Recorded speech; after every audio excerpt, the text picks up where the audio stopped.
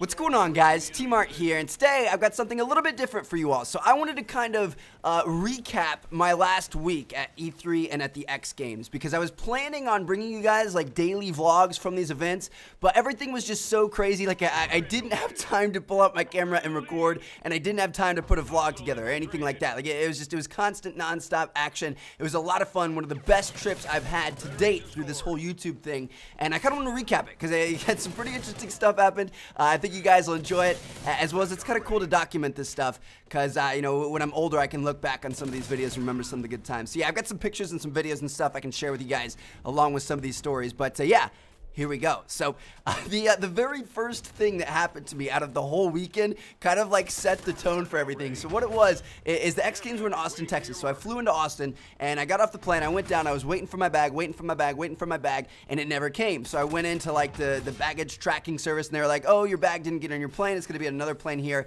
in like 15 minutes." And I was kind of mad because I was supposed to meet some people for dinner or something like that, and so I was to have to wait like 15 minutes for the plane to get there and then like another 25 minutes for the bag to get off. So it was like it was put me back like an hour, hour and a half, something like that. I was kind of mad. So I walked back out and I was sitting there waiting for my bag. And I'm sitting there, sitting there, sitting there. And then all of a sudden I noticed out of the corner of my eye this really, really short guy walked by. And I was like, there's no chance. And I look and it was freaking Wee Man.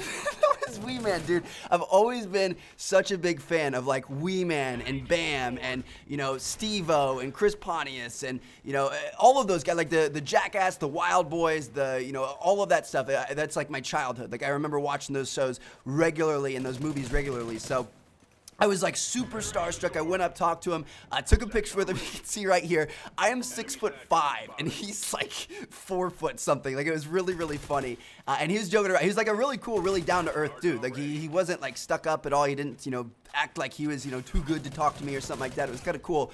And and we were just talking and he said like uh, it's awkward to stand next to somebody so tall. And i was like it's awkward to stand next to somebody i've seen naked so many times. Because like literally he's always naked in all those uh, videos and movies and stuff. And, and so he just started cracking up. It was really really funny and yeah, so it was just it was kind of cool. Like I had a really good experience with Wee Man, and it wasn't like one of those awkward encounters, like oh hey I'm a fan, let's take a picture, and then I'm gonna awkwardly stand next to you and stare at you. Like it, we were actually like almost like we were friends hanging out. Like he was just a really really cool dude. So if you guys ever get a chance to meet Wee Man, he's a good guy. But anyway, yeah. So that's pretty much all we did that day. You know, I got my bag, we went, we ate. I had like this crazy uh, brat that had like bacon and mac and cheese on top of it. It was so so good. And then we went out and you know just hung out for a little bit. But that was pretty much it. Now the next day was kind of like the the pre X Games day, so like it wasn't open to the public. They weren't starting competitions yet, but we were like able to get in since we were there with like Monster and EnVyUs and things like that.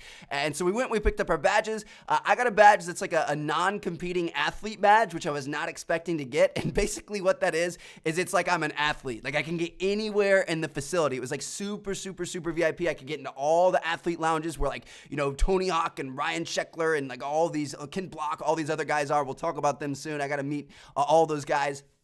And, uh, and it was really crazy. And we just kind of walked around. We checked out all the setups for, for like gaming, and then we saw the rally track, the motocross, things like that. So it was kind of cool.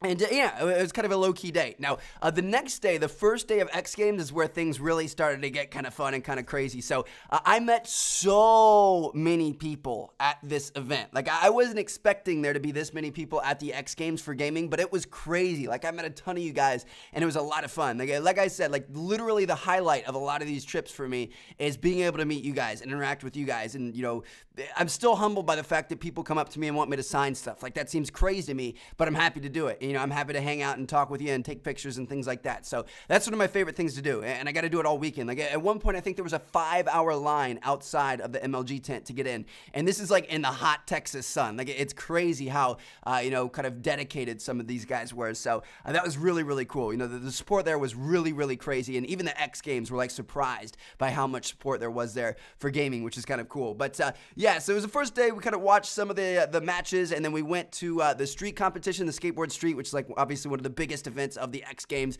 I got to watch my favorite skater, Nyjah Huston skate. I got to see Ryan Sheckler. Like, I remember watching his TV shows when I was little and wanting to be like him. Uh, and, like, actually, because we had the athlete badges, me and some of the guys that play on Envy, like Nameless and Study, were with us. I think uh, we uh, we got to walk up like literally where the guys were dropping in. Like we weren't up in the stands watching where normal people watch from. We were literally like standing next to the skaters as soon as they got done. Like when they were done with their run, they would step off of the concrete and that's where we were. We were like feet from them. It was one of the craziest things in the world. And I'm sure we were on TV a few times. That was really, really cool. Uh, but uh, yeah, we'll talk more about Nyjah Huston later because I've got a really like insane story about that. If you guys know who he is, he's like absolutely insane skater. He's 19 years old and the most decorated X Games skater of all time. So I got a cool story with him. But anyway, yeah, the rest of the day was pretty cool. We just kind of watched matches, went to a, a monster party that night, and holy crap, look at this picture right here. I am staring down into the eyes of death. That is Rampage Jackson. that was one of the scariest moments of my life. He is such an intimidating man, but he's actually really, really cool. I actually got to sit down and talk to him for a little bit, and we ended up exchanging numbers. Like, I have Rampage Jackson's number. What am I ever going to do with that? I've got no clue, but I've got it. So, uh, hey, at least I did something right, I guess. I don't know. But, uh, yeah, so that was a fun night. Uh, the next day, the second day X Games, uh, again, it was fun. You know, uh, I got to meet my homegirl right here, the bus driver. She was awesome. I absolutely love her. I don't know what she's doing right here, like trying to strangle me or something, but uh, she was really cool. I wish I could like give her a camera and tell her to record her life because she was a character. I will tell you that. But uh, it was a fun day. We kind of hung out. We watched more video games. We played video games.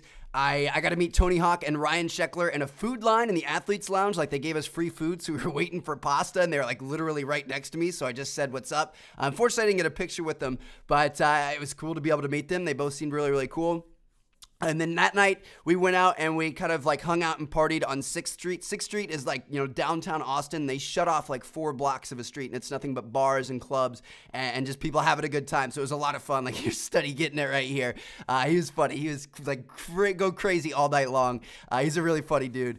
And yeah, it was, just, it was a really good night. So uh, that was the second day of X Games, and then finally the third and last day of X Games was uh, was pretty cool. I actually got to play on the main stage. So they had like a, a VIP match. It was myself, uh, Ali A, Rambo, and Pamaj versus the Old Men of Optic, which was Optic Hex, Fwiz, Diesel, and then Justine and uh, and we got to play them. We absolutely dominated them. They the first map they were down one player, but then the second two maps we still beat them handily. Obviously Rambo carried, but uh, it was just it was a lot of fun, man. Like I got to play in like one of the big soundproof booths at the X Games with like a bunch of people watching and a bunch of people watching on screen. Like it, it was definitely a very, very humbling and, and, like one of the moments that I'll, I'll, remember for the rest of my life. Like it's so cool to experience what those professional players experience, uh, you know, when they go to these events. Like it was a really, really cool feeling. So that was pretty cool. I got to hold the X Games gold medal, which was awesome. They're actually a lot more heavy than you would think they are. And and then finally, we got to see Optic take the championship, which uh, which I'm happy about. Like obviously, I, am pulling for Team EnVyUs. They got fourth. Uh, it wasn't our best tournament. We did kind of play pretty poorly quite a few times, and, and hopefully we can do better at Anaheim. But I was happy that my boys on Optic got first. They definitely deserve it. They've been working for that for a long time, and, I love all the the players and, and, you know obviously Hex and you know all those guys that are affiliated with that organization. So I'm happy for them and happy to see them win. Now uh, the the next day, the day that I'm traveling to E3, this is the day that was like the craziest for me. So I get to the airport and I'm sitting there waiting in line to check in. And then all of a sudden, Nyjah Huston's right there. And Nyjah, like, I've always been a big fan of Nyjah. Like I said, he's 19 years old, and he's one of the, mo- or he is the most decorated skater of all time uh, now, because he won the the street, the skateboard street gold uh, at you know the 2014 X Games. So uh, I see him, and, and I'm like, no, holy shit, I need to get a picture with him because I've seen him like this weekend. I've been close to him and stuff, but I've never asked for a picture. And so I'm like super fanboying out, and I go up and I'm like, hey, dude, could we get a picture? And he's like, oh, yeah, of course. So we take a picture.